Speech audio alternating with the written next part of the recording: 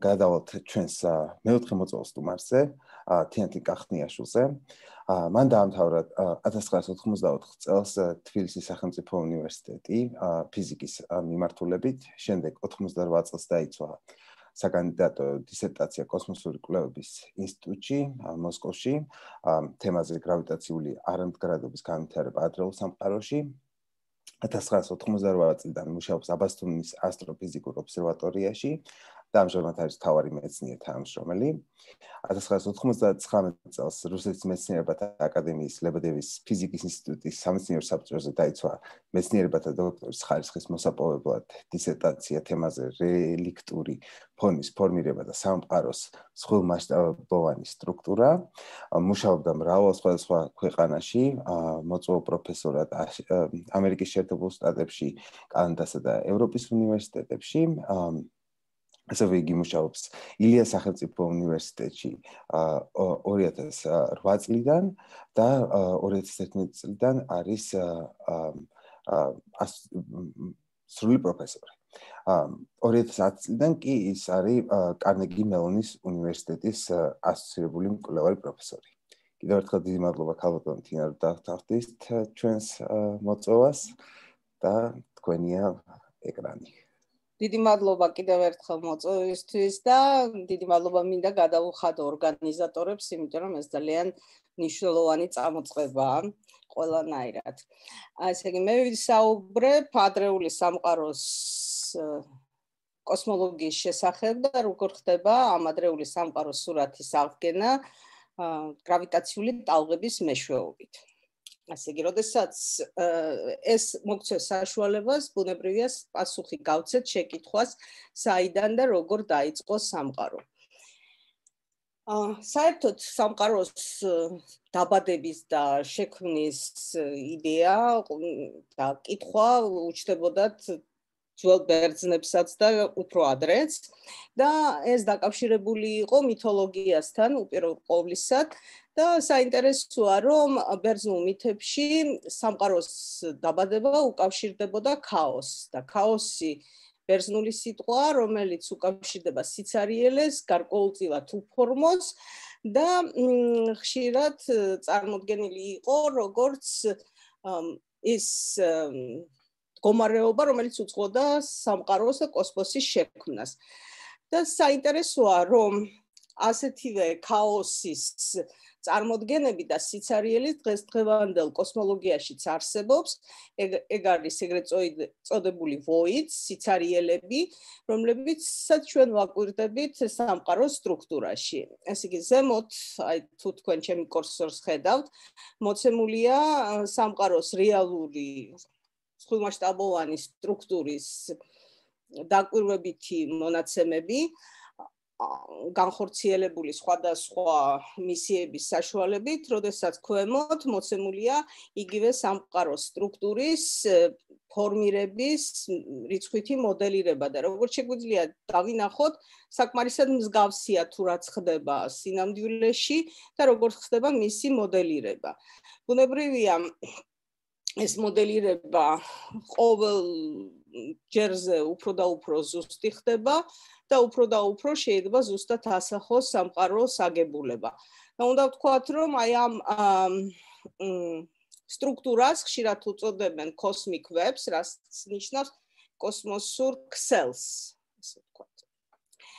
რაც შეეხება კოსმოსის ჩვენს გარშემო და მე დავიწყებ ყველაზე უფრო ახლოდან და მე გადავალ უფრო შორს მანძილებზე. პირველ ყოვლისა, როცა ჩვენ უყურებთ ცას, ჩვენ ხედავთ ეგრეთ წოდებულ ხილულ სამყაროს, მაგრამ ეს ხილული სამყარო შეადგენს თელი სამყაროს მხოლოდ და მხოლოდ 4-5%-ს და დანარჩენი არის ფარულის სახით, რაზეც მე ცოტა მოგვიანებით ვისაუბრებ.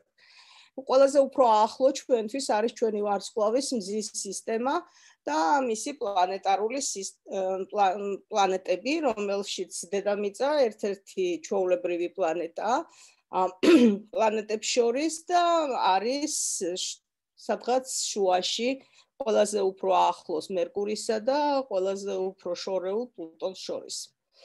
რაც შეეხება ჩვენს მდებარეობას და მზის სისტემის მდებარეობას ჩვენს galaktikაში, არანაირად გამორჩეული ადგილი არ გვიკავია, ეს არის ესე ვთქვათ ჩვენი galaktikis ირმის ნახტომის სურათი და აი მზის სისტემა სადღაც აი აქ არის ერთ-ერთ სპირალზე განლაგებული, უნებრივი არ ცენტრალურია და არც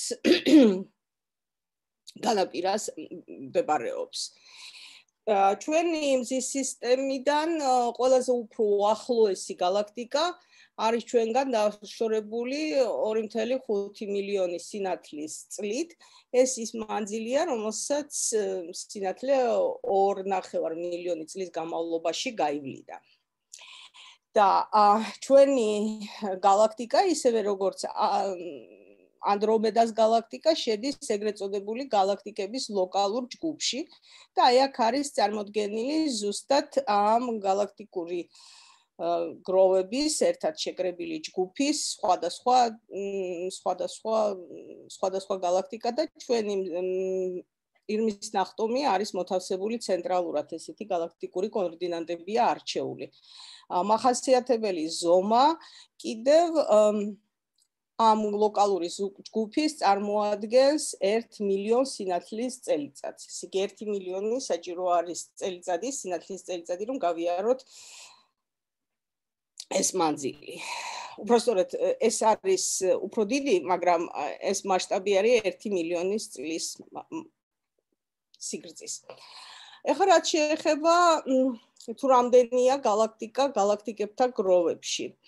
მაგალითად, ესეთი galaktikis grova, რომელიც არის IDCS J1426 ჩვენგან არის დაშროებული 10 მილიარდი სინათლის სხივის წელიწადით. ეს მას ნიშნავს, რომ ჩვენ ვუყურებთ დღეს იმ მოვლენებს, რომელიც ხორციელდებოდა სამყაროში 10 მილიარდი წლის წინ.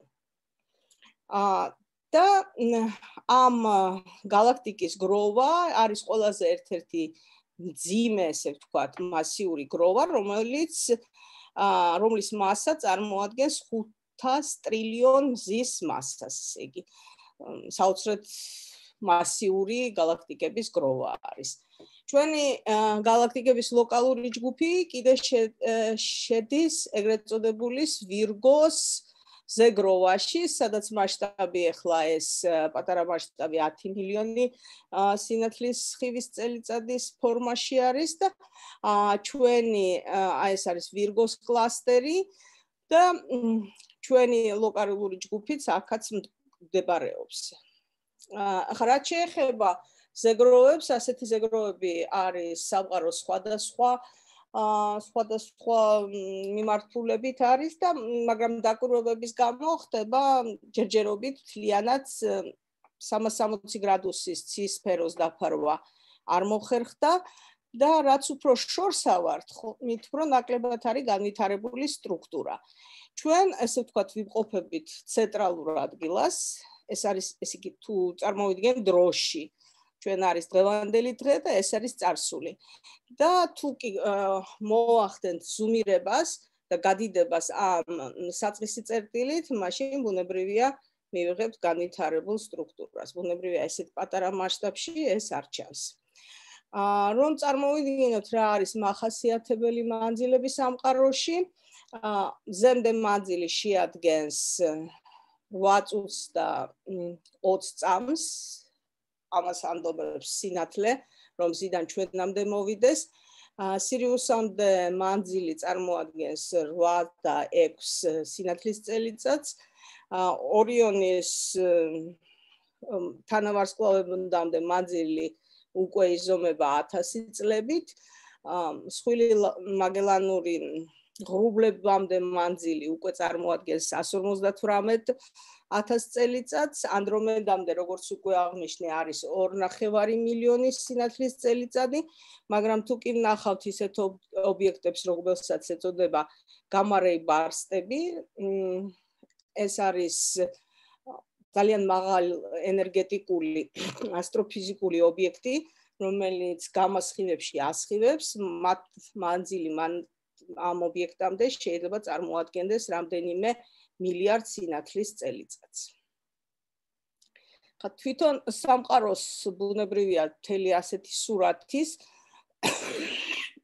ჩვეულებრივ სკალაში მოქცევა პრაქტიკულად შეუძლებელია, მაგრამ თუ ჩვენ გამოვიყენებთ ლოგარითმულ სკალას, მაშინ შეგვიძლია გავაკეთოთ სამყაროს ასეთი სურათი, რომელიც რაც უფრო ჩვენს კიდეზე გადავდივართ, მით უფრო შორეულ ობიექტზე არის საუბარი.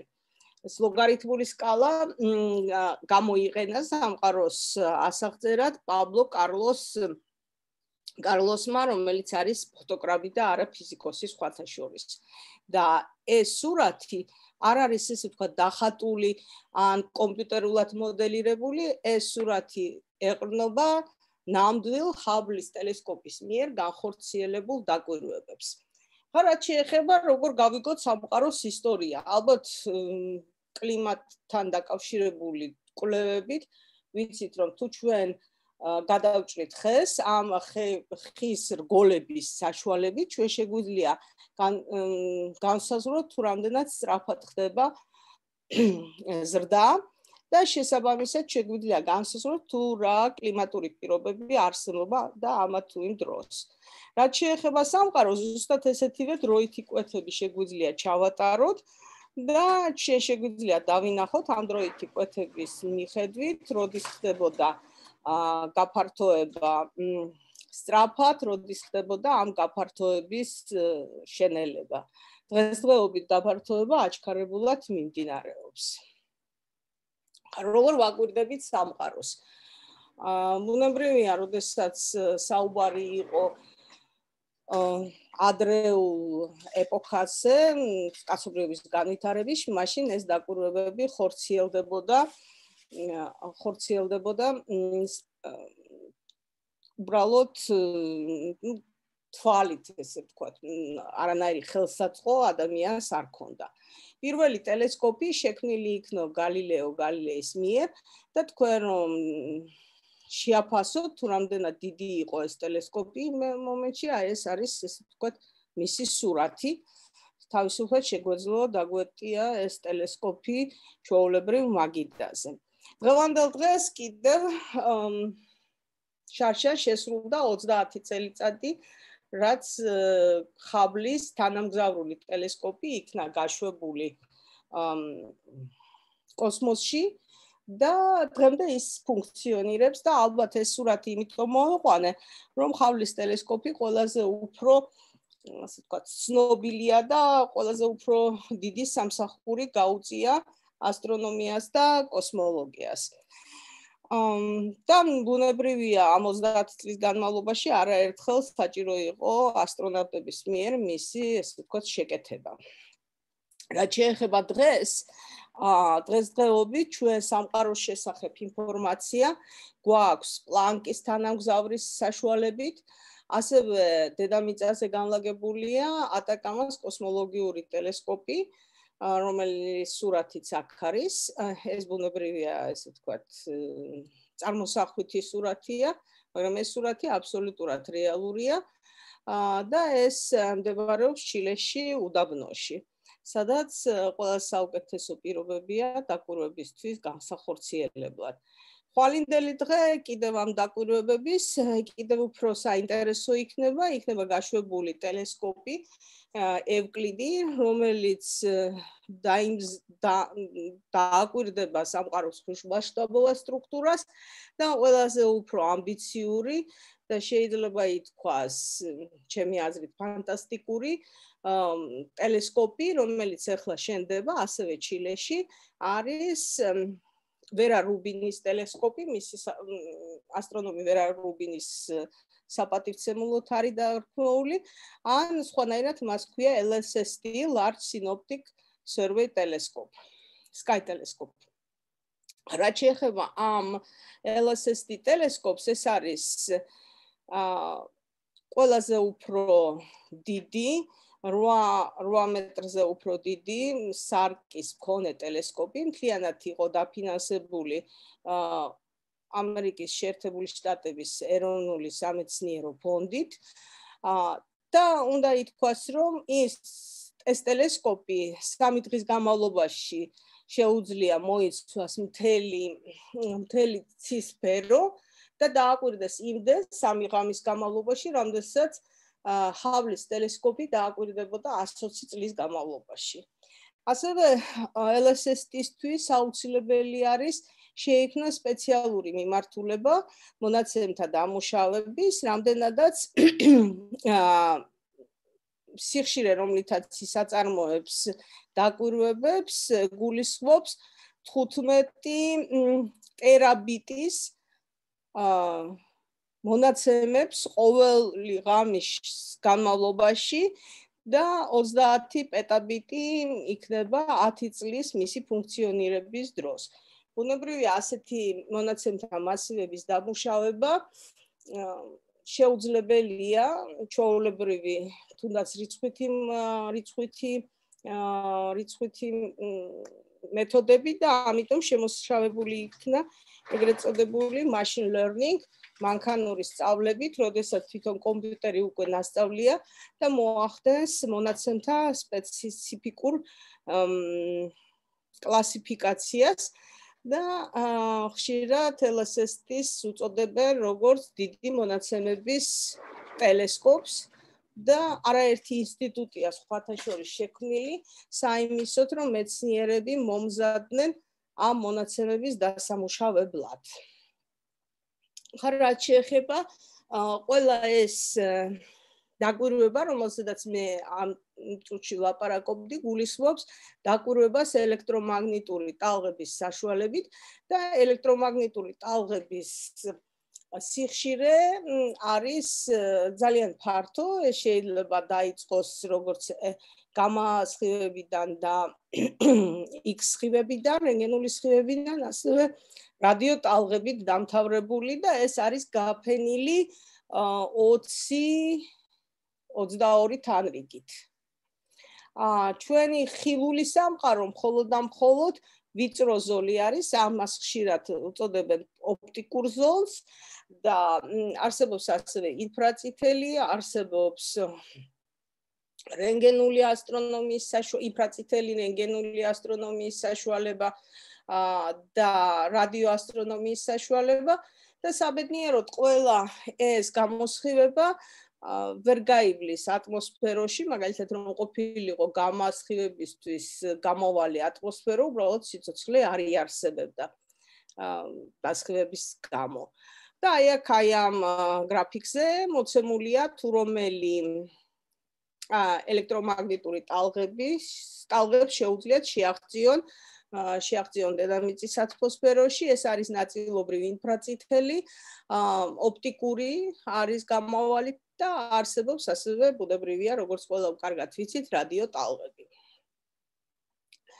აა მაგრამ დღესდღეობით ალბათ ეს სურათი, რომელიც იყო 5 წლის წინ ჯერ კიდევ აქტუალური, დღესდღეობით უკვე მოძველებულია და დღესდღეობით დაიწყო სრულიად ახალი ეპოქა. ეს არის სამყაროს დაკვირვების საშუალება გრავიტაციული ტალღების საშუალებით. და ზუსტად ამას ეხება ძირითადად ჩემი მოხსენება თუ რა შეგვიძლია შევისწავლოთ ჩვენ ადრეულ სამყაროზე და საერთოდ სამყაროზე გრავიტაციული ტალღების საშუალებით. ხა თუ ჩვენ შევადარებთ მაგალითად პირველ ტელესკოპს, ეს არის გრავიტაციული ტალღების გამზომი დეტექტირების საშუალებით. ინტერფერომეტრი მიწაზე განლაგებული და თითეული ეს მხარი 4 კილომეტრს წარმოადგენს. თუ როგორ ხდება ამის დაფიქსირება, ამაზე რამდენიმე წუთში ვისაუბრებ და აქ კიდევ მოცემულია ესე თქვა სქემატურად უკვე თანამგზავრული ტიპის ინტერფერომეტრი, რომლის მხარი იქნება უკვე არა 4 კილომეტრი, არამედ თავად დედამიწის ორბიტა, როდესაც ის მოძრაობს მზის გარშემო. ახლა, როდის დაიწყო ამ გრავიტაციული ტალღების ეპოქა? აა პირველ ყოვლისა უნდა თქვა, რომ გრავიტაციული ტალღების შესახებ იდეა გაუჩნდა ჯერ მათემატიკოსებს მე-19 საუკუნის დასასრულს, მაგრამ მათემატიკურად და ფიზიკურად გამართული ფორმა მან მიიღო აინშტაინის ზოგადი ფარდობითობის თეორიის ფარგლებში და 1915 წელს გამოქვეყნდა აინშტაინის შრომა, რომლისშიც მოცემული იყო, რომ უნდა არსებობდეს გრავიტაციული ტალღა, როდესაც ხდება ძლიერი შეშფოთებები, თუმცა კლავ უნდა აღინიშნოს, რომ აინშტაინის მიერ მიჩნეულ იქნა, რომ ეს ტალღები პრაქტიკულად არის უფრო მათემატიკური ობიექტი და მათი ფიზიკურად დამზერვა პრაქტიკულად შეუძლებელი იქნება. ну აი აქ კიდევ ერთხელ მომყავს ეს ასე ვთქვათ შედარება პირველი ტელესკოპის და დღევანდელი მიწაზე განლაგებული ლაზერ ინტერფერომეტრული გრავიტაციული ტალღების ობსერვატორიის ესე თქვა ინტერფერომეტრი განლაგებული მიწაში პრაქტიკულად ეს არის ხრები. აქვე მინდა ვთქვა რომ ეს იგივე ტიპის მოვლენა იყო გრავიტაციული ტალღების აღმოჩენა, როგორც თქვა გალილეოს მიერ გალილეოს მიერ ტელესკოპის გამოგონება და ამოქმედება. ეს სრულიად ახალი ფანჯარაა სამყაროში და გვაძლევს საშუალებას დავაკვირდეთ სამყაროს სულ სხვა მასშტაბებში, ვიდრე ვთქვათ ამას ელექტრომაგნიტური გამოსხივება გვაძლევს საშუალებას.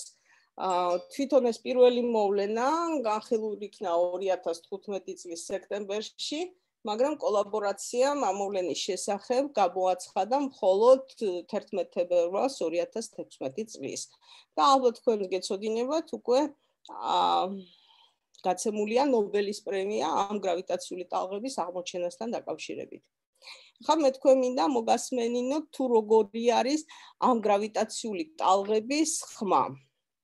ეს ორი დეტექტორია, ერთი არის ჰანფორდში და მეორე არის ლივინგსტონში და თქვენ ახლა ნახავთ თუ როგორი ხმით არის ამ ეს აა ბუნებრივია ეს არ არის ხმა გრავიტაციული ტალღა სურულია სხვანაირი ობიექტია, მაგრამ მეცნიერებმა შეძლეს ესე ვთქვათ მისი ანალოგიის მოძებნა გერითი ტალღების საშუალებით. აი ეს არის ეფექტი, რომელიც გრძელდება მხოლოდ რამდენიმე წამი და ეს ეს მოვლენა, რომელსაც ახლა მოვისმინეთ, ასახავს ორი შავი ხვრელის ერთმანეთთან შერწყმას. და ეს შავი ხვრელების შერწყმა ბუნებრივია რიცხვითი მოდელირებით, აა შემდეგნაირად შეგვიძლია წარმოვადგინოთ. ეს თითოეული ამ შავი ხვრელისგან რაღაც მზის მასა 30 ჯერ მეტი არის და გარშემო რაც არის მათ გარშემო ეს არის თავად სივრცე დრო და ჩვენთვის დედამიწაზე მყოფი და ლაბორატორიისთვის ალბათ ძალიან რთული წარმოსადგენია რას ნიშნავს რომ თავად ეს სივრცე დრო მოძრაობს.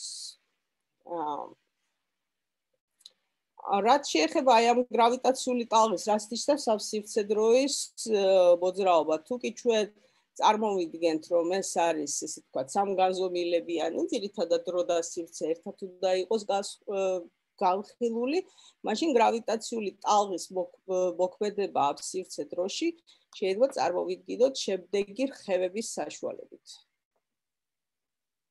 თუ რამე შეკითხვები გაქვთ იქნებ შემაწყვეტინოთ და მოხარული ვიქნები გიპასუხოთ. ეხლა თუ ჩვენ ძალიან გავადიდებთ ამ გრავიტაციული ტალღის ზემოქმედებას იგივე დედამიწაზე, ეს იმას ნიშნავს, რომ თვითონ დედამიწა იქნება ხევაში მოსული ამ ტალღებისა გამო. და ბუნებრივია გადიდებული, გაძლიერებული სურათია ეს, ესეთი ხევა არ არსებობს, მაგრამ თავისი ფიზიკური შედარსით ეს მსგავსი იქნება. აი, როდესაც მოდის გრავიტაციული ტალღა, ეს არის მწვადე, თავად დედამიწა იწყებს რხევას. ბუნებრივია ეს რაც უფრო ძლიერია ტალღა, მით უფრო ძლიერი რხევა იქნება. აა და ასევე აი აქ არის მათემატიკურად უკვე წარმოდგენილი თუ როგორ ხდება ამ ორი შავი ხვრელის გარშემო მიმდებარე სივრცის ბრუნვა. ახლა აქ ორი ხვრელი წარმოადგენს ესე თქვა ჩაღრმავებას, იმიტომ რომ ფარდობითობის თეორიის ფარგლებში თუ გვაქვს ჩვენ მასიური სხეული, ვის გარშემო სივრცე იქნება გამრუდებული. და ეს წარმოადგენს ეგრეთ წოდებულ გრავიტაციულ პოტენციალის ორმოებს. ახლა ჩვენ დაუბრუნდეთ ისე ჩვენ ცირითად თემას, რომელიც არის ადრეული სამყაროს დაკვირვება და პირველ რიგში რა ვიცით ჩვენ დიდი სიზუსტით სამყაროზე, ჩვენ ვიცით რომ სამყაროს ქონდა ცხელის საწყისი. ზოგჯერ მას ეწოდება Big Bang, დიდი აფეთქება, მაგრამ ალბათ სიტყვა აფეთქება იმდენად სწორი არ იქნება პირდაპირ გაგებით, იმიტომ რომ როდესაც ჩვენ საუბრობთ მაგალითად აფეთქებაზე, აფეთქება ნიშნავს, რომ აფეთქდა სადღაც ნივთიერება. სამყაროს შემთხვევაში თავად სივრცე დრო ფეთქდება, ესე ვთქვათ, ჭყალებში თუ შეიძლება ვთქვათ და ის კი არ ხდება, რომ ის სადღაც ფართოვდება. ეს თვითონ სივრცის გაფართოება ხდება. ხო, საიდან ვიცით, რომ სამყაროს ეს ცხელის დაწყისი ქონდა?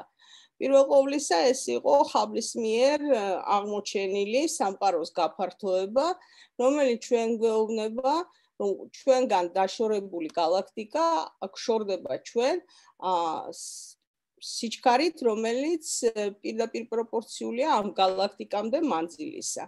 ესეთი სიჩქარის ჩვენგან დაშორებული სიჩქარის გაზრვა დოპლერის ეფექტის საშუალებით ხდება, რაც ხაბლმა განახორციელა, ხოლო მანძილის გაზრვის სხვა ტიპის მეთოდები გამოიყენა. სხვათა შორის უნდა ვთქვათ, რომ ამითი ჩემი აზრით დაიწყო კოსმოლოგიის როგორც საბუნების მეტყველო მეცნიერების ჩამოყალიბება, მანამდე ესე ვთქვათ, ეს იყო უფრო ფილოსოფია. ვიდრე მეცნიერება და მიუხედავად იმისა, რომ ხაბლმა თითქმის 10 ჯერ 10 ჯერ 10 ჯერ უფრო დიდი ხაბლის პარამეტრი განსაზღვრა, ესე იგი დღევანდელი მონაცემებით ხაბლის პარამეტრი სადღაც არის 70 კილომეტრ წამში გაყოფილი მეგაპარსექზე. ხაბლმა ეს განსაზღვრა როგორც 500 და არა 70 რაც ესე ვთქვათ დიდი შეცდომა იყო ბუნებრივია, მაგრამ მეორე მხრივ ეს შეცდომა იყო მხოლოდ რიცხვებში, მაგრამ ფიზიკურად შინაარსი იგივე არის და საუბარია იმაზე, რომ ჩვენ კლავ საუბრობ არა ისეთ გაფართოებაზე, რომელშიც პირველ ყოვლისა ეს გაფართოება არის იზოტროპული. ყველა მიმართულებით არის ერთი და იგივე. ამიტომ ჩვენ შეგვიძლია წარმოვიდგინოთ, რომ ჩვენ ისევ სამყაროს ცენტრში ვიმყოფებით, მაგრამ ეს არ არის სწორი, იმიტომ რომ ჩვენ უნდა წარმოვიდგინოთ ეს გაფართოება არა სივრცეში, არამედ დროში.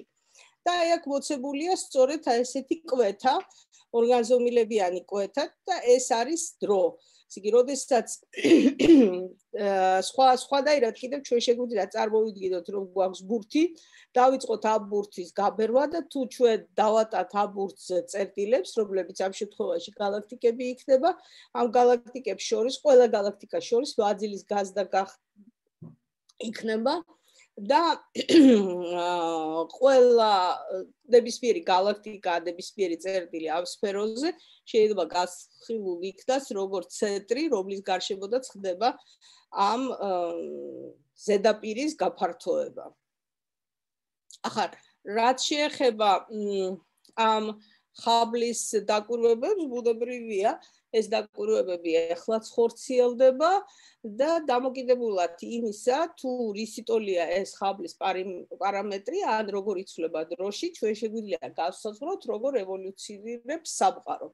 კიდევ ერთი მნიშვნელოვანი ფაქტი. ფართოვდება თავად სივრცე. ის სივრცე, რომელიც არ არის galaktikat შორისი და galaktika გროვების შორისი სივრცე. სივრცე, რომელიც არ არის გრავიტაციულად ბბული. ეს ძალიან მნიშვნელოვანი ფაქტია, რომ ეს ახასიათებს სარიელ სივრცეს, იგივე აი ეს ვოიდებს, რომელზედაც იყო საუბარი დასაწყისში. აქ ესე ვთქვათ, მოცემულია სამყაროს ისტორიის სხვადასხვა მომენტი და თუ ჩვენ ჩავთვლით რომ დღეს სამყარო ვართ აქ და ეს წარმოადგენს სამყაროს ასაკი გაიზომება და არის დაახლოებით 13.8 მილიონი მილიარდი წელიწადი მანამდე სამყარო გაიარა სხვადასხვა მნიშვნელოვანი ეპოქა. მაგალითად 200 მილიონი წლის როდესაც იყო სამყარო დაიწყო პირველი სტრუქტურის წარმოქმნა.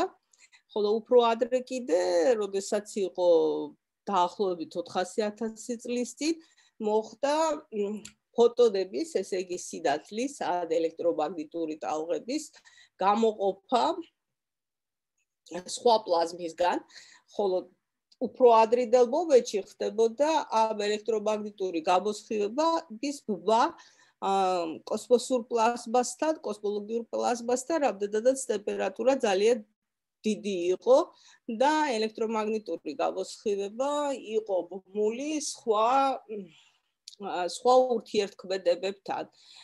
ფიზიკაში არსებობს 4 ტიპის დამტკიცებული ურთიერთქმედება. ეს არის ელექტრომაგნიტური, სუსტი, ძლიერი და გრავიტაციული. დიდი გაერთიანების თეორია აერთიანებს ერთმანეთთან სუსტ ელექტრომაგნიტურს და ძლიერს, მაშინ როდესაც გრავიტაცია არის გაცალებული და თუ რატომ არის გრავიტაცია გაცალებული, ეს საკითხი დღემდე ესე ვთქვათ გაურკვეველია და დებატების სფეროშია, უნდა ვთქვათ, რომ სავარაუდოდ გრავიტაცია გაერთიანებული იყო სხვა ურთიერთქმედებებთან, მაგრამ გაცილებით უფრო მაღალ ტემპერატურებზე, რომლებიც წარმოადგენს პრაქტიკულად სამყაროს დაბადების დროს არსებულ ენერგიებს და ტემპერატურას. ეხლა ის რომ სამყარო ფართოვდება ყველაზე უფრო პირდაპირი დასტური და ცხელი საწყისი ქოდა არის 1965 წელს აღმოჩენილი რელიქტური ფოდი. ამას ამის აღმოჩენაზე პენსიაზმა და ვილსონმა მიიღეს 1978 წელს ნობელის პრემია და უნდა ითქვას, რომ არც ერთი მათგანი არ ეძებდა ამ ფონს, ისინი მუშაობდნენ რადიოტელეფონების შექმნისთვის და დაინახეს, რომ არის ხმაური, რომელიც ყველა მხრიდან მოდის, იზოტროპულია და რამდენად კარგი განათლება ჰქონდათ მიღებული და ფიზიკას იცნობდნენ, დაუკავშირეს ეს ფონი, რომელიც მათ მოაჩინეს უფრო ადრე 30-იან წლებში ნაწინასწარმეტყველთ სითფურ გამოსხივებას, რომელიც უნდა შექმნილიყო იმ შემთხვევაში, თუ კი სამყაროს ექნებოდა ცხელის საწყისი. ხა როგორც ჩვენ ხედავთ, აი აქ არის ერთი ზოლი შუაში, რომელიც შეესაბამება ჩვენს galaktikur სიბრტყეს. დანარჩენი ჩანს ყველაფერი ძალიან ერთგვაროვანი და თანაბარი. თუ ახლა ჩვენ გამოვიცხავთ ამ galaktikur სიბრტყეს, ჩვენი ირმის ნახტომის სიბრტყეს, დავინახავთ, რომ ყველაფერი არის ერთგვაროვნად განაწილებული და არანაირი შეშფოთებები არ აქვს. მაგრამ მეორე მხრივ ჩვენ ვიცით, რომ სამყარო არის მთლიანად დაფარული იმ კოსმოსური ქსელით, რომელიც პირველივე სლაიდზე გაჩვენეთ და იგულისხმება, რომ უნდა ქონოდა ამ სამყაროს გარკვეული ტიპის ფლუქტუაციები. პირველ ყოვლისა ეს მინდა განახოთ ასევე, თუ რამდენად კარგად ემთხვევა მიღებული გამოსხივების სპექტრი ნაწინასწარმეტყველს სითბური გამოსხივების სპექტრს. ზოლი რომელიც არის ხაზი ჩვეულებრივ უწყვეტი ხაზი ეს არის თეორია თეორიულად ნაწინასწარმეტყველი სპექტრი, ხოლო წერტილები შეესაბამება სხვადასხვა დროს განხორციელებულ დაკვირვებებს და თუ ჩვენ გავიხსენებთ რომ ეს არის სითბური გამოსხივება და სითბური გამოსხივება კიდევ აიხწერება ბოლცმანის კანონით, მაშინ შეგვიძლია გამოვსახოთ ეს ტემპერატურულ ერთეულებში და აი ამ გამოსხივების ტემპერატურა არის ახლოს აბსოლუტურ ნოლთან, თუმცა აბსოლუტური ნოლი არ არის და არის 2.73 კელვინი. აა იმის გამო რომ ეს არის სწონასწორობაში მყოფი, ამ გამოსხივებას ხშირად ეგრეთ წოდებული შავი სხეულის გამოსხივება ჰქვია. აა ეხლა როგორც აღნიშნე, ჩვენ ვიცით, რომ სტრუქტურა არის განვითარებული და კითხვა არის, საიდან წარმოიქმნა ეს სტრუქტურა. ბუნებრივია დაუშვათ, რომ სტრუქტურა წარმოიქმნა სამყაროში არსებული ცირე შეშფოთებებისგან. თუ კი სამყაროში მცირე შეშფოთებები არსებობდა, ისინი უნდა არსებულიყო აგრეთვე იმ პერიოდშიც, როცა მოხდა რელიქტური ფონის წარმოქმნა, შესაბამისად უნდა იყოს ამ რელიქტური ფონის ტემპერატურული ფლუქტუაციები და როდესაც მე ვიყავი სტუდენტი, იმ პერიოდში ხორციელდებოდა ამ რელიქტური ფონის ფლუქტუაციების ძიება და კოსმოლოგია იმ პერიოდში იყო გარკვეულად გარკვეულწილად შიხში, იმიტომ რომ თუ ჩვენ ჩავთვლით რომ სამყარო შედგება ჩვეულებრივი ჩვენთვის ლაბორატორიაში ცნობილი ნივთიერებისგან, მაშინ ეს შეშფოთებები უნდა ყოფილიყო 1%-ის მეათედის მეასედის რიგის. მაგრამ არაფერი არ იყო ამ პერიოდში აღმოჩენილი სურათი იყო ესეთი იზოტროპული და მიუხედავად ორი მცდელობისა, ორი ექსპერიმენტისა, რომელიც იყო რელიქტ 1 და რელიქტ 2, მათ არ მოიძიეს ეს შეშფოთებები და ამის გამო ხდებოდა კოსმოლოგიური მოდელების გადახედვა. თუმცა როგორც მე უკვე აღვნიშნე, ხილული სამყარო და ის ჩვეულებრივი ნივთიერება, რომელსაც ჩვენ ლაბორატორიაში ვაკვირდებით, წარმოადგენს სამყაროში მხოლოდ 5%-ს თლიანი მისი ბიუჯეტისა და ძირითადად სამყარო შედგება ფარული მატერიისგან და ფარული ენერგიისგან. და სწორედ აი ამ ფარული მატერიის არსებობა იწვევს, რომ აა გრავიტაციული შეშფოთებები, რომელიც წარმოიქმნება ამ ფარულ მატერიაში, არ არის პირდაპირ ასახული ხილული მატერიის, ესე იგი, ხილული მატერია პრაქტიკულად მიყვება იმ ორმოებს, რომელსაც გრავიტაციულ ორმოებს და იმ სურას, რომელსაც ქმნის ფარული მატერია. შესაბამისად, ამ ის შეშფოთებები, რომელსაც ჩვენ უნდა რელიქტურ ფონზე დავაკვირდეთ, უფრო მცირეა, ვიდრე ვთქვათ მხოლოდ ამ მხოლოდ ხილული მატერიისგან მოვიდოდა. და აი მოხდა 90-იან 90-იან წლებში ამ რელიქტური ფონის ფლუქტუაციების აღმოჩენა და კვლავ გაიცა მატერზე და სმუდზე ნობელის პრემია და აი ეს სურათი, ეს რუკა რომელიც ესე ვთქვათ სამყაროს სურათია, როდესაც სამყარო იყო 380000 წლის, იყო ესეთი სახით მიღებული. როგორც ჩვენ ხედავთ, ეს არ არის ძალიან კაფიოთ გამოვლენილი სტრუქტურა. უფრო ეს გადღაბნილია და დღესდღეობით მონაცემებით ამისი უფრო დაზუსტებით ხდება მისი გაზომვა და აი ჩვენთვის ეს პირველი არის კობი cosmic background explorer-ის სურათი, შემდეგ მოდის ვილკინსონის ექსპერიმენტის სურათი, სადაც უკვე ჩვენ ვხედავთ უფრო კაფიოთ გამოკვეთილ სტრუქტურას და ბოლოს არის 2013 წლის პლანკის თანამგზავრის მიერ განხორციელებული გაზომვები, სადაც გარჩევის უნარიანობა წარმოუდგენლად დიდია, თუ კი შევადარებთ პირველს. ბუნებრივია, როდესაც ჩვენ ასე დაკვირვებებს ღებულობთ, ეს არ არის ესეთი გასუფთავებული სახით.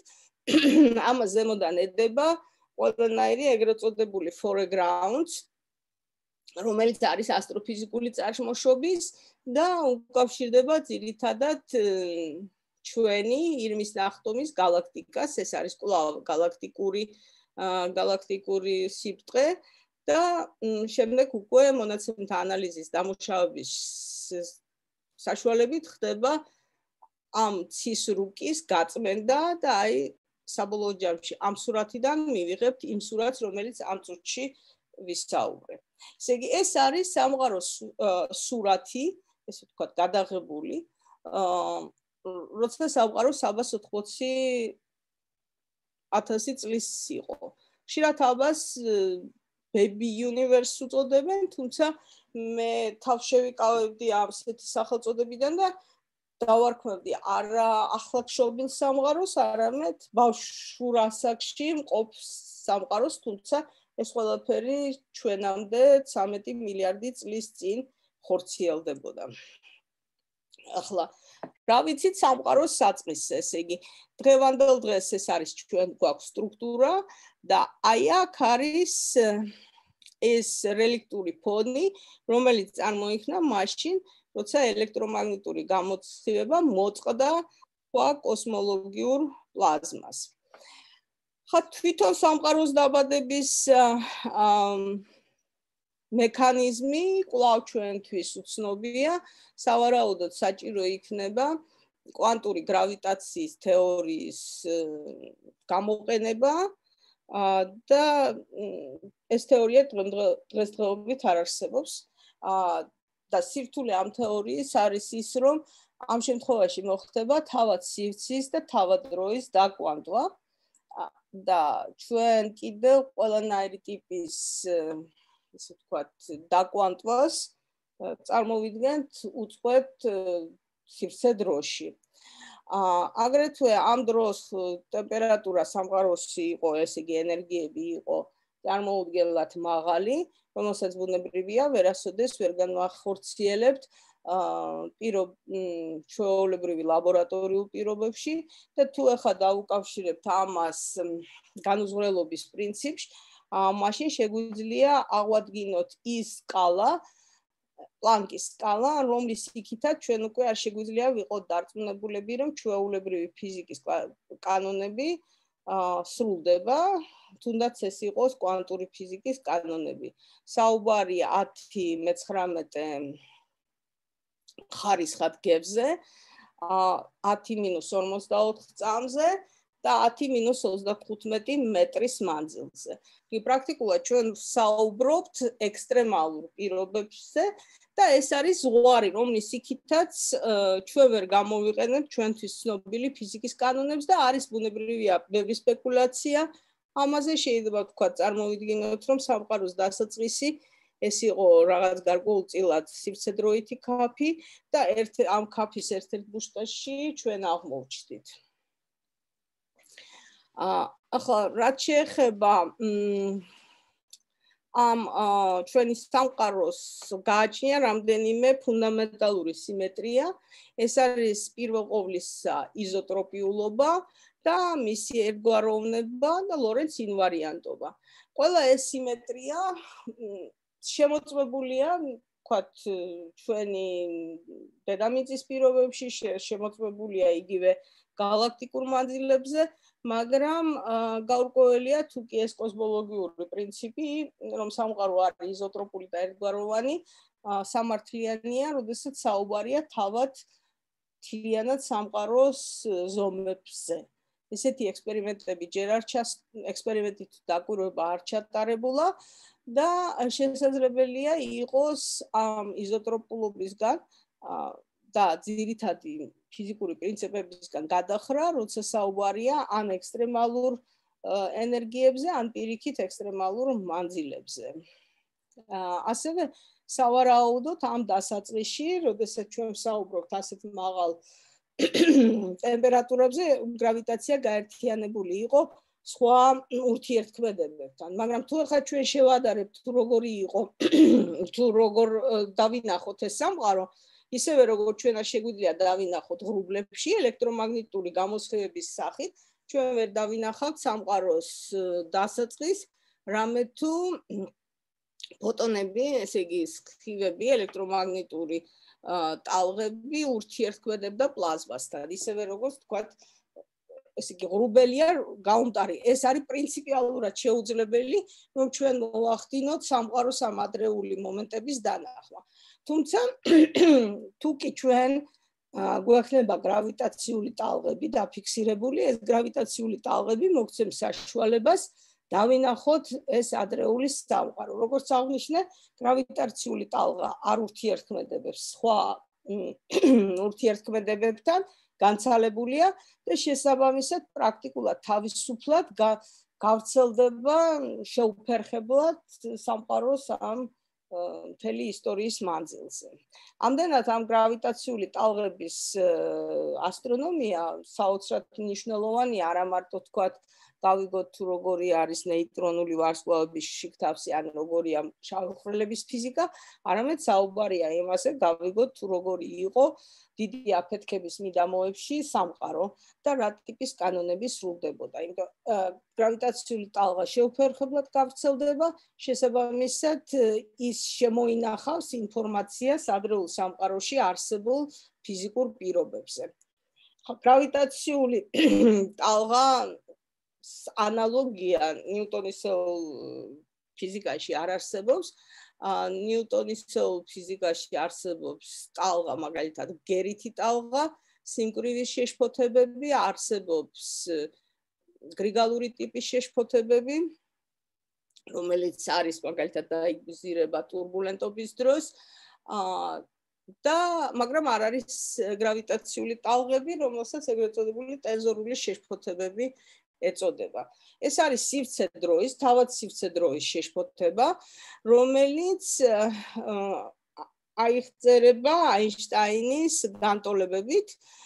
ეს აინშტაინის განტოლება გვეუბნება, თუ კი გვაქვს ჩვენ ნებისმიერი მატერია ან ენერგია, ეს მატერია ან ენერგია მოახდენს სამყაროს გამრუდებას და თუ კი ხდება ამ პროცესში აჩქარებული მოძრაობა ზუსტად ისევე როგორც მუხტი გამოასხივებს ელექტრომაგნიტურ ტალღას აჩქარებული მოძრაობის დროს ზუსტად ასევე აჩქარებული მოძრაობა მასების ნუ დიდი მასებზე არის საუბარი გამოიწვევს გრავიტაციულ ტალღას.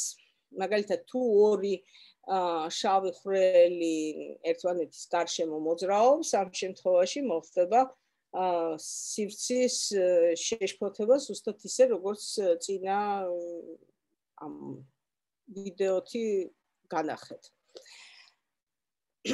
გარდა ამისა, რომ გრავიტაციული ტალღა, ტენზორული ტიპის ტალღა, გრავიტაციული ტალღა შეიძლება დახასიათებული იყოს პოლარიზაციით და ეს პოლარიზაცია იქნება ინფორმაცია იმის იმის თაობაზე, არის თუ არა სამყაროში, ადრეულ სამყაროში შენარჩუნებული ლუწობა, ესე იგი, ახსახვა, სარკისებული ასახვა თუ კი იქნება ზუსტად ისეთივე, აა სხვანაირად რომ ვთქვათ, თუ მარჯვენა თუ მარცხენა ბრუნვას განვახორციელებთ, აა ამისგან თვითონ სამყაროს სურათის შეცვლა არ მოხდება.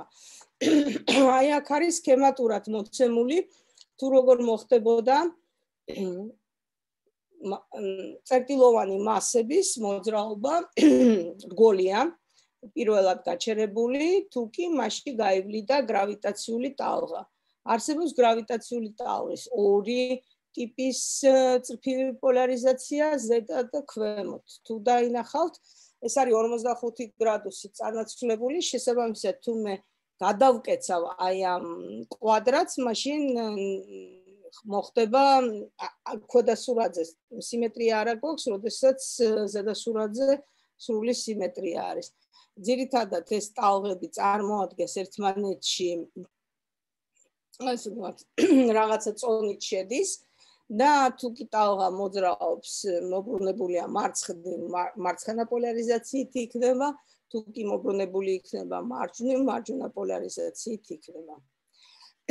გრავიტაციული ტალღების სპექტრი, ისევე როგორც ელექტრომაგნიტური ტალღების სპექტრი, ასევე გაჭიმულია 20 სხვადასხვა თანრიგით და თუ საუბარია მაგალითად დღესდღეობით დაკვირვებულ გრავიტაციულ ტალღებზე, ისინი რაღაც 20 თანრიგით განსხვავდება იმისგან, თუ როგორი იქნებოდა გრავიტაციული ტალღის სიგრძე, როდესაც სამყარო ახლახანს იყო დაბადებული და იმ პერიოდში შექმნილი. არის შუალედური დაკვირვებებიც, ამას განახორციელებს შემდგომ ლაზერული ინტერფერომეტრი, თანამგზავრული ინტერფერომეტრი ლიზა, რომლის გაშვება დაგეგმილია 2034 წლისთვის. ასევე უნდა ვთქვა, რომ სექტემბერში შარშან მოხდა პირველი მინიშნება იმისა, რომ პულსარების საშუალებით, რადიოპულსარების საშუალებით განხორციელდა სტოქასტური გრავიტაციული ტალღების ფონის დეტექტირება. თუმცა სრული სრული დარწმუნებულობით ჩვენ ამის თქვა არ შეგვიძლია, მაგრამ როგორც თვითონ ნანოგრავის კოლაბორაცია ამბობს, strong evidence სიგნალის ნესტი მინიშნება ყოველ შემთხვევაში ძლიერია. რაზე ეყარება ამ პულსარების timing array, ეს არის პულსარები არის ძალიან ზუსტი საათები, კოსმოსური საათები, რომლებიც ასხივებენ ზუსტად გასაზღვრული პერიოდი, შესაბამისად ა როდესაც მოხდება ბევრი პულსარის დაკვირვება, თუმაჩი გაივლის გრავიტაციული ტალღა, მოხდება მათ შორის სივრცის შეშფოთება და ის ხარი, ინტერფერომეტრის ხარი, ხარის როლს შეასრულებს მანძილი პულსარამდე, რომელიც შეიძლება იყოს ძალიან დიდი მილიონობით სინათლის სხივის წელი. აი აქ მოცემულია ეს ყველა მისია, როგორ შეიძლება მოხდეს, აი ეს არის დღევანდელი მიწაზე განლაგებული ground based ინტერფერომეტრი აქ არის თანამგზავრული ლაზერული ინტერფერომეტრი აი აქ კიდევ არის მოცემული აი პულსარების მიერ მიღებული აი მაგალითად წერია ნანოგრაფ რომელიც არის სიზუსტე რომლითაც განისაზღვრება. ბუნებრივია რაც იქნება სიგნალი თუ იქნება უფრო დაბლა ვიდრე ეს წირები ამ სიგნალის დამზერვის საშუალება არ იქნება. იმისთვის რომ გამოირიცხოს რამე სისტემური სირთულეები, ამიტომ არის მიჩნეული რომ სიგნალის შეფარდება ხმაურთან უნდა იყოს 10-ის ტოლი, რაც საკმარისად დიდ დარწმუნებით შეგვიძლია თქვა. მაგალითად, ნაწილაკთა ფიზიკაში ესეთი ფარდობა თუ კი არის 5, უკვე დადასტურებულად ითვლება, მაგრამ აი გრავიტაციული ტალღების გაზომვაში უფრო ძლიერი შეზღუდვებია დადებული. ეს რელიქტური გრავიტაციული ტალღები, რომლებიც არის მოსულია ადრეული სამყაროდან, შეიძლება გამოწვეული იყოს სხვადასხვა ტიპის ფიზიკური მოვლენებით. პირველ რიგში ეს არის ინფლაცია. ეს არის ყველაზე უფრო ადრინდელი ეპოქა სტანდარტული კოსმოლოგიური მოდელის ფარგლებში ხდებოდა სამყაროს ექსპონენციალური გაფართოება მის ადრეულ მის ადრეულ განვითარების მომენტებში ასევე ეს შეიძლება იყოს კოსმოლოგიური ფაზური გადასვლები. ეს არის როგორც ელექტროსუსტი არა ასევე კვანტურ ქრომოდინამიკული სხვანაირად QCD გადასვლა. ეს შეიძლება იყოს გამოწვეული როგორც ბუშტების ბუშტების ერთმანეთთან შეჯახებით შეიძლება იყოს გამოწვეული თვითონ გერითი ტალღების, დარტყმითი ტალღების საშუალებით. აგრეთვე შესაძლებელია გავითაციური ტალღების გენერირება მაგნიტური ველებით ან კიდევ турბულენტობით, რომელიც შესაძლებელია არსებობდა ადრეულ სამყაროში, როგორც ვთქვით, სამყარო იყო ძალიან ცხელი, პლაზმა იყო იონიზებული, შესაბამისად სამყარო იყო ზედამტარი იმ შემთხვევაში, აა და მასში ნებისმიერი ტიპის მოძრაობა დაუკავშირდებოდა მაგნიტური ველის გენერაციას. აი სწორედ ჩემი ასე ვთქვათ სამეცნიერო ინტერესები უკავშირდება ამ ტიპის გრავიტაციული ტალღების რელიქტური გრავიტაციული ტალღების ფიზიკური მოვლენების დადგენას და შეფასებას იმისა, თუ რა ტიპის დაკვირვებების საშუალებით ჩვენ შეგვიძლია გამახორციელოთ ამაზე დაკვირვება. ესე იგი, აქ არის როგორ შეგვიძლია დავაკვირდეთ იმ გრავიტაციულ ტალღას, რომლის სიგრძე ტალღის სიგრძე უტოლდება თავად სამყაროს. ბუნებრივია, ვერადაირად ვერ შევხვდით ჩვენ ასეთი ტიპის ინტერფერომეტრებს, მაგრამ არა უშუალოდ, არამედ მოვლითი გზებით შეიძლება მოხდეს ამ გრავიტაციული ტალღების დაკვირვება, კერძოდ თუ კი ეს გრავიტაციული ტალღა არსებობდა, მაშინ ის დატოვებს ანაბეჭდ რელიქტური ფონის ტემპერატურულ ფლუქტუაციებზე და გამოიწვევს ამ რელიქტური ფლუქტუაციების მაგნიტური ტიპის პოლარიზაციას. მაგნიტური ტიპის პოლარიზაცია კიდევ ეს ნიშნავს, რომ აა პოლარიზაციაში დარღვეული იქნება სარკულის სიმეტრია. ეს პირველად განხილული იქნა აი ამ შრომებში.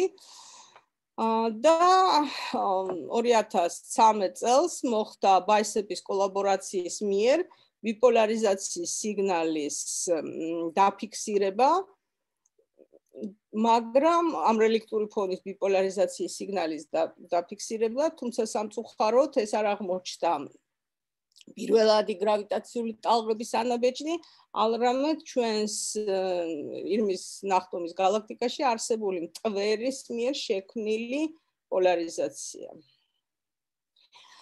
ახლა ეს გრავიტაციული ტალღები გვაძლევს საშუალებას შევამოწმოთ თუ რამდენად სწორია ჩვენი მიდგომა სამყაროს პირველი მომენტებისთვის კერძოდ თუ ჩვენ დავაკვირდებით ამ მიკროტალღოვანი თონის რუკას, მაშინ აღმოჩნდება, რომ ორი წერტილი, რომელიც ერთმანეთისაგან არის განცალებული უფრო დიდი მანძილით ვიდრე სინათლის სიჩქარე გამრავლებული დროზე, აა აღმოჩნდება უფრო დიდი და შეუძლებელია ესეთი კორელაცია მოხდეს, რა კი ჩვენ ვიცით, რომ სინათლის ხივის სიჩქარე შეზღუდულია და შეუძლებელია ერთი წერტილის და მეორე წერტილს შორის ერთიანი მსგავსი პირობების განხორციელება. ბუნებრივია არსებობს რაღაც ალბათობა, რომელიც უბრალოდ შეფთხოვით განხორციელდა, მაგრამ პრაქტიკულად ეს შესაძლებლობა გამორიცხულია. იმისთვის, რომ ესეთი კორელაცია აიღწეროს, მიჩნეულია, რომ სამყარო ფართოვდებოდა ექსპონენციალურად დასაწყისში და ზუსტად აი ამ ექსპონენციალური გაფართოებას უწოდებენ ინფლაციას და რა კი ინფლაციის დროს მოხდებოდა ამ გრავიტაციული ტალღების გენერაცია, ამიტომ შესაძლებელი იქნება ინფლაციური მოდელების შემოწმება თავად ამ გრავიტაციული ტალღებით. და აი აქ 2015 წელს პლანკის კორელაბორაციამ გამოაქვეყნა შეზღუდვები, რომლებიც დაადო ინფლაციის სხვადასხვა მოდელს. დღესდღეობით ინფლაციის ერთიანი მოდელი არ არსებობს და ეს არის სხვადასხვა მოდელით განპირობებული შეზღუდვები. და ალბათ მე აქ უბრალოდ აი ამ ბოლო სლაიდს განახებთ, ეს არის ევროპული space კოსმოსური სააგენტოს და ამერიკის შეერთებული შტატების NASA სააგენტოს მიერ ერთობლივი პროექტი, ყველაზე ძვირადღირებული თანამგზავრული პროექტი, რომელიც პრინციპში დააფიქსირებს გრავიტაციულ ტალღას აა სავარაუდოდ, თუ კი ესეთ ტალღა იქნა შექმნილი 10-11 წამის დროს, როცა იყო სამყარო, ესე იგი საუბარია 10-11, ესე იგი წამის მე მილიარდებზე კიდევ ასჯერ უფრო ნაკლები დროის მანძილზე. აი მე აქ შევჩერდები, ეს არის ის თემები, რომელზეც მე მუშაობ, თუ ვინმეს შემდგომ დაგაინტერესებთ ჩემი მუშაობის ეს მიმართულება, მოხარული ვიქნები, პასუხი გაგცეთ და მინდა დავამთავრო ეს ჩემი მოხსენება შემდეგი გამონათქვამით სოკრატესი რომ მე ვიცი ის რომ არაფერი არ ვიცი რაც უფრო ბევრი ახალი ჰორიზონტები გვახსნება. მით უფრო ბევრი შეკითხვა შეიძლება იქაც დაბადებული და მოხდეს და იმედი მაქვს რომ ზუსტად ეს ახალი თაობა ის თაობა იქნება რომელსაც საშუალება ექნება ამ საინტერესო შეკითხვებს პასუხი გასცეს. დიდი მადლობა. მადლობა თქვენ ამ საინტერესო პრეზენტაციისთვის. გადავალთ კითხვებზე თქვენი პირველი გურამ აიწია ხელი, გურამ შეგეძლია დასვა კითხვა? გამარჯობა, პირველ რიგში მადლობა და მაქვს ასეთი კითხვა, ანუ ზოგადად პრინციპულად როცა ვაკვირდებით CMB-ს ან მაგალითად ნეიტრინოებს ვერ ვაკვირდებით, მაგრამ თუნდაც ნეიტრინოს ბექგრაუნდების დაკვირვების საშუალება ასე მგონია რომ გვაძლევს ის რომ ყოველთვის წინ უსწრებდა ეგრეთ წოდებული დიკაპლინგი, ანუ CMB-ს რო შევხედავთ, უკვე ვიცით სადამდე ვიყურებით, მაგრამ გრავიტაციული ტალღებისთვის ესეთი რაღაცა რა თქმა უნდა არასდროს მოხდა რა ყოველთვის იყვნენ ურთიერთქმედებაში და იქნებიან ხო ასე ვთქვა. აი რა მაინტერესებს ახლა შესაბამისად რომ თუ შეხედავთ ამ გრავიტაციას რომ მქონდეს ძალიან კარგი დეტექტორები გრავიტაციული ტალღების როგორ მოახერხებდით, რომ ესე ვთქვათ, გაგვერჩია ეს სხვადასხვა წყაროებისგან იქნებოდა იქ ერთგან ქონდა ჩამოთვლილი ეს ინფლაცია, sound wave-ები, bubble collision-ები, როგორ დავახარისხებდით და გავაცალკევებდით ამ წყაროებს? ეს ესე იგი წყაროების განსალება და იქნება შესაძლებელი გამომდინარე თეორიული მოდელირებიდან, ესე იგი ჩვენ გვეცოდინება რა არის מחასიათებელი სიხშირე და ასევე რა არის מחასიათებელი ამპლიტუდა და როგორია სპექტრალური გადანაწილება. მაგალითად, თუ კი საუბარია ინფლაციაზე, მაშინ ეს გრავიტაციული ტალღის სიხშირე სადღაც 10-16, 10-18 ჰერცია, მაშინ როდესაც გრავიტაციული ტალღა, რომელიც იქნება წარმოქმნილი QCD ფაზური გადასვლის დროს იქნება 10-9 ჰერცის ფარგლებში და ელექტროსუსტი გადასვლის დროს წარმოქმნილი გრავიტაციული ტალღა უფრო დიდი იქნება 10-4, 10-3 ჰერცის ფარგლებში. ესე იგი, პირველ ყოვლისა ეს არის სიხშირე შემდგომ რომ განვასხაოთ უფრო ესეთი დავწრილმანე, ну, უფრო დავყოთ და თქვა ელექტროსუსტის დროს აღნიშნე რომ შეიძლება ეს იყოს ფაზური გადაცვლის ბუშტების შესაჯახება ან დარტყმითი გერითი ტალღების დაჯახება ან იგივე ტურბულენტობა. ამ ორი ტიპის ამ ამ რამდენიმე ტიპის მიერ გამოწვეული გრავიტაციული ტალღის განცალება შესაძლებელი იქნება. თუ კი გავაკეთებთ თუ კი მოხდება შესაძლებელი სპექტრალური გადანაწილების აა და ამპლიტუდის ზუსტი გაზომა, მაგრამ დღესდღეობით როგორც მე ვთქვი, არ არ არსებობს ამ პირველადი გრავიტაციული ტალღის დეტექტირება, ერთადერთი არის აი სექტემბერში განხორციელებული პულსარების მეშვეობით დაფიქსირებული იქნა სტოქასტური ფონი და ამ სტოქასტური ფონის შეშფოთებები სადღაც 10 ესე იგი შეიძლება ახსნილით და როგორც ზებასიური მასკლავების შავი ხვრელების შეჯახებით ასევე შეიძლება იყოს განხილული როგორც პირველადი სტოქასტური ფონი. მაგრამ ნუ დარწმუნებით ამაზე თქვა დღესდღეობით შეუძლებელია, იმიტომ რომ ზუსტი გაზრუა და დეტექტირება არ მომხდარა. დიდი მადლობა. მადლობა. თამარ ზაქარეიშვილს აქვს ასევე აწეული ხელი. ამ გამარჯობათ ქაბატონო თინა. მადლობა საინტერესო ლექციისთვის. ამ იცით რისი წარმოქმნა მინდოდა კოსმოსური მიკროტალღური ფონის აი გრაფიკი როკა რო ხდება ეს ოვალური ფორმის ვცდილობდი რომ წარმოვედგინა ეს თითქოს ირგვლივ გვაკრავს და რეალურად დამკვირვებელი დედამიწაზეა, როდესაც ამ რუკას ადგენენ თუ ანუ უნებრივია. ძალიან კაი შეკითხვა, ჩვენ ვიყოფებით ზუსტადაც აი თუ წარმოვიდგენთ რომ ჩვენ ვართ ცენტრში, ჩვენს გარშემო ზედაპირი, რომელიც იქნება, ეს არის რელიქტური ფონის ზედაპირი. ესე იგი, როგორც მე დედამიწის რუკას ვადგენ და ოვალურად წარმოვიდგენ, ზუსტად ასევე არის ეს გადებული ორზე, სადაც ეს.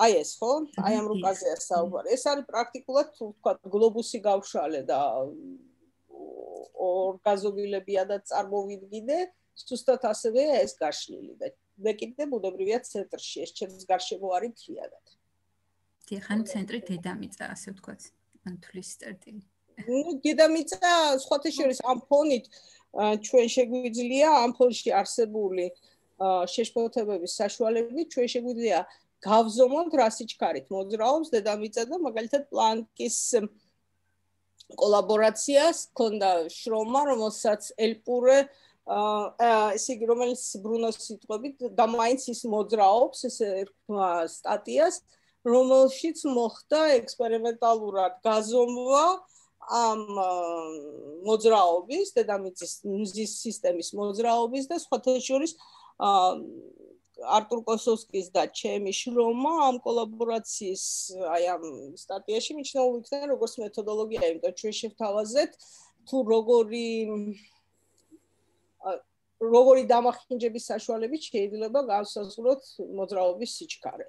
მაგრამ ბუნებრივია ეს დედამიწა სადღაც ესე იგი ეს არის ჩვენს გარშემო და თუ ჩვენ გავასაშუალოთ ყველა მიმართულებით ეს მაინც იზოტროპული იქნება. მიუხედავად იმისა რომ ხედავთ რომ აქ არის გარკვეული ტიპის სტრუქტურები. აი აუხსნელი არის რატომ არის ჩრდილოეთი და სამხრეთი სიმეტრიული არ არის. აი მაგალითად აი აქ აი ამ კუთხეში არის ეგრეთ წოდებული ცივილაკა და ამ ცივილაკის წარმოშობა არის გაურკვეველი. თუმცა შეიძლება იყოს უბრალოდ, ну, შემთხვევითი დამთხოვა, რომ აი აქ წარმოიქმნა ცეთი სიცარიელესი. სადაც უფრო ლურჯია, იქ არის უფრო დაბალი ტემპერატურა და წითელი და ყვითელი უფრო მაღალ ტემპერატურას შეესაბამება.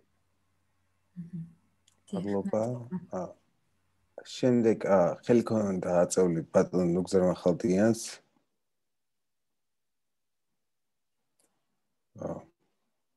მე მგონი და შეგეძლოთ. ხო, მადლობა. ა 90-იან წელს Nature-ში 1990 წელს იყო სტატია ა პერიოდული სტრუქტურის შესახებ, მატერიის განაწილების პერიოდული სტრუქტურის შესახებ. ესე იგი, ჩვენი galaktikis ჭრდილო და სამხრეთ პოლუსების მიმართულებით ვიწრო კონუსში ანალიზი მოახდინეს განაწილების, ესე იგი, დიდი მასშტაბის მატერიის განაწილებისა და შემოთავაზებული იქნა პერიოდული განაწილება მატერიის ფენებად. ერთი ფენა, შემდეგ სიცარიელე შედარებით მეორე ფენა, ასე შემდეგ. ამ ფენებს შორის დიდი სიზუსტით მანძილი იყო 128 მეგაპარსეკი. აა საინტერესოა დღევანდელი სტატუსი ამ სურათისა, იმიტომ რომ მაშინ SkySaver, Sloan SkySaver მოიგონეს მთელი პროგრამა ასე შემდეგ და დიდი ესე იგი შედეგები იყო, კვაზარი აღმოაჩინეს მაშინვე ამუშავდა თუ არა კომპიუტერი. და ესეთი მარტივი რაოდენობითი კითხვა, რამდენი ფენა არის დაკვირვებად სამყაროში?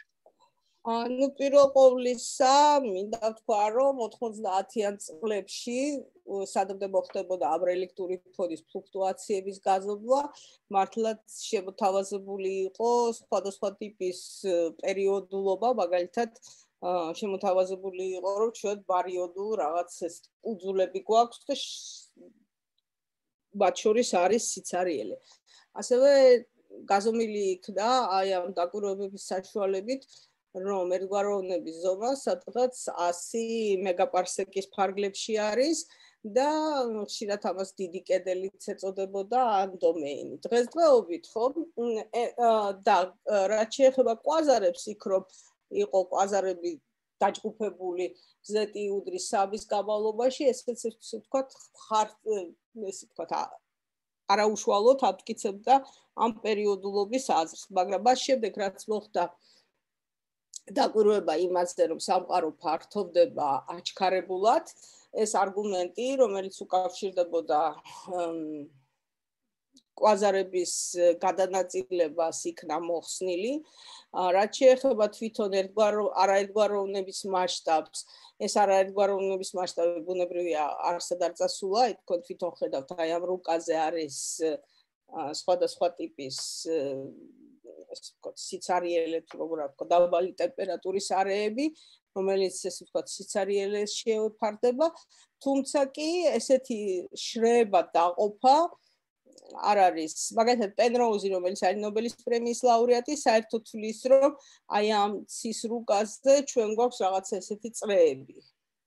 აა წრეების სტრუქტურა არის და სულაც არ არის საჭირო ვთქვათ იგივე ამ ინფლაციური მოდელის განხილვა რამდენადაც კორელირებს მხოლოდ უფრო ახლო მანძილზე მყოფი, მაგრამ დღესდღეობით სტანდარტული კოსმოლოგიური თეორიის ფარგლებში ესეთი მატერიის პერიოდული გადაწილება არ არის სწორი, მაგრამ თუ საუბარია იმაზე, რომ ჩვენ სტრუქტურის განაწილებაში შეგვიძლია დავინახოთ ეგრეთ წოდებული გერითი ტალღები, მაგას ქვია ბარიონ აკუსტიკური ოსცილაციები. თუ ამას გულისხმობთ, მაშინ ბუნებრივია ეს დიდი სიზუსტით არის შემოწმებული. ეს ჩას როგორც მიკროტალღოვან თონში, ასევე ჩას სტრუქტურის განაწილებაში, მაგრამ აი ესეთი როგორც 90-იან წლებში იყო მოდელი, რომელიც არის პერიოდული და რაღაც ისეთი კუძულები გვაქვს. დღესდღეობით არ არის აუცილებლობა ასეთი ხელოვნური მოდელის შემოყვანისა. აა შემდეგ კითხვა აქ აა ჰინდუ ქალღმერთ მაჰაკალის შეგიძლიათ დასოთ კითხვა?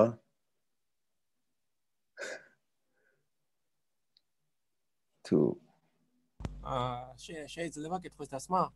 რა თქმა უნდა. რა თქმა უნდა, ჩემი რეალური სახელი გახლავთ ღვთისავარჭაბრავად, თესეუს მაგისტრანტი გახლავთ ფილოსოფიას სწავლობ, აღმოსავლურ ფილოსოფიას. უბრალოდ ფსევდონიმი მაქვს ეგეთი შეარჩეული. და კითხვა რაში მდგომარეობს? რამოდენიმე ნაწილისგან შედგება კითხვა და აი შესაძლებელი არის თუ არის გრავიტონების დანახვა რეალურად ისე როგორც აი მაგალითად სპეციალური აპარატები არსებობს რომლების დახმარებითაც ჩვენ ხედავთ მაგალითად ციტბურ გამოსხივებას აი ღამის ხედვის აპარატები რომ არსებობს და კიდევ კითხვა მაქვს ასეთი ტექიონების და ტარდიონების არსებობა რეალური თუ გონიათ და ჰიპერსივრცის თეორია თუ არის სინამდვილესთან ახლოს და ასევე გრავიტაციის გავრცელების სიჩქარე გრავიტონების ესე ვთქვათ გრავიტაციული ნაწილაკების მოძრაობის სიჩქარე რამდენი? ანუ თუ გრავიტაციის გავრცელების სიჩქარე არ არ აღემატება სინათლის სიჩქარეს, როგორ გააკავებს მაშინ მაგალითად მზე პლანეტებს თავისი ასე ვთქვათ თავის გარშემო და galaktikაში ვარსკვლავების და პლანეტების დაკავება როგორ ხდება და ყველაზე მთავარი კითხვა კვანტურ გრავიტაციას რაც შეეხება, როგორ არის შესაძლებელი კვანტური მექანიკის და აინშტაინის ფარდობითობის თეორიის ისე მორიგება, შერიგება, რომ საბლოო ჯამში როგორღაც შექმნილი იქნას კვანტური გრავიტაცია, ანუ კვანტური გრავიტაციის თეორია, ანუ ყველაფრის თეორია. ანუ ჯერჯერობით თქვენ ახსენეთ, რომ შეუძლება არ არის გაკეთებული. არ არის. ესე იგი, მოდით ბოლოდან დავიწყებ. პირველ რიგში ჯერჯერობით არც ერთი მოდელი სტანდარტული, აი ფარდობითობის თეორიის ფარგლებში, რომელიც შემოიყვას კვანტურ მექანიკის გაერთიანებას და გრავიტაციის გაერთიანებას სხვა ურთიერთქმედებებთან, არ არსებობს. ყოველ შემთხვევაში არის გარკვეული სპეკულაციები ამის თაობაზე, მაგრამ არც ერთი თეორია დღესდღეობით დამტკიცებული არ არის. რაც შეეხება მზეს ვარსკვლავებს და ასე შემდეგ, იქ გრავიტაციული ტალღების და გრავიტაციული ურთიერთქმედება ძალიან დიდი სიზუსტით თანხმობაშია ნიუტონისეულ ფიზიკასთან, ჩვენ არ გვჭირდება აინშტაინის ზოგადი ფარდობითობის თეორიის გამოყენება, ზოგადი ფარდობითობის თეორიის გამოყენება მხოლოდ და მხოლოდ ძლიერი გრავიტაციული ველების დროს არის აუცილებელი ან კოსმოლოგიურ მასშტაბებზე, ესე იგი, როდესაც მასშტაბები უკვე ეთანაბრება სამყაროს ზომას თავად. აა რაც შეეხება თვითონ გრავიტონის დათახვას, გრავიტონის დანახვა ეს პრაქტიკულად იგივე არის, რომ ეს გრავიტონი იგივე არის, როგორ გრავიტაციული ტალღის გადამტანი არის და თქვენ შეგიძლიათ თქვათ, რომ აი როგორ ხედავ ეს ფოტოს, ხო? მას აქვს დუალობა, როგორც ტალღა არის, ასევე არის ნაწილაკი, გარკვეულ პირობებში იქცევა როგორც ნაწილაკი და ზოგჯერ ტალღა. მაგრამ თუ კი გრავიტონი არსებობს, სტანდარტულ თეორიაში მიჩნეულია, რომ ამ გრავიტონს უნდა გქონდეს ნულოვანი მასა და მისი სპინი უნდა იყოს 2 სტოლი. და შესაბამისად რა კი უმასო არის მისი გავრცელება უნდა ხდებოდეს სინათლის სხივის სიჩქარით. ბუნებრივი არსებობს გრავიტაციული თეორიის მოდიფიკაციები, რომლის ფარგლებშიც გრავიტონის მასა თქო ნოლისგან არის განსხვავებული და ამ შემთხვევაში გრავიტაციული ტალღის გავრცელებაც იქნება გავრცელებული განსხვავებული სინათლის სხივისგან, მაგრამ აი ზუსტად აი ამ ლაიგოს მიერ მოხდა გრავიტონის მასის შეზღუდვა გამომდინარე იქიდან რომ ერთ და იგივე მოვლენის როგორც ელექტრომაგნიტური გამოსხივება მივიღეთ, ასევე გრავიტაციული გამოსხივებაც. ამას ქვია მულტიმესენჯერული ასტრონომია და 10-17 ელექტრო 10-22 ელექტრონვოლტით არის შეზღუდული დღესდღეობით გრავიტონის მასა ექსპერიმენტალურად. თუმცა კვლავ არსებობს თეორიები მასიური გრავიტაციის რომელშიც გრავიტონის მასა უნდა იყოს უნდა იყოს თუ ყოველ შემთხვევაში შეზღუდულია 10-30 ელექტრონვოლტით ან 10-32 ელექტრონვოლტით მაგალითად არსებობს გაბადა დერამ გაბადაძე თოლის მოდელი მასიური გრავიტაციის რომელიც არის თავისუფალი გოსტი გოსტი მოჩვენებითი, ესე იგი, არა ფიზიკური მოდებისგან არის თავისუფალი და აი ამ მოდელში შესაძლებელია რომ გრავიტონის მასა იყოს მიზეზი დღევანდელი ჩვენი აჩქარებისა და თქო ფარული ენერგია არის ჩანაცვლებული გრავიტაციის მასიური გრავიტაციის მეშვეობით. მაგრამ ესე ვთქვათ, დანახვა როგორც ინფრაწითელ სხივებში, ну, ერთადერთი საშუალება არის დანახვის გრავიტონის დანახვის საშუალება რა თვალსაზრისითაც გვექნება, თუ საუბარი ადრეულ სამყაროდან მოსული, ალბათ ეს არის კოსმოსური მიკროტალღოვანი ფონი. ან საუკეთესო შემთხვევაში პულსარების ტაიმინგის საშუალებით. მადლობა.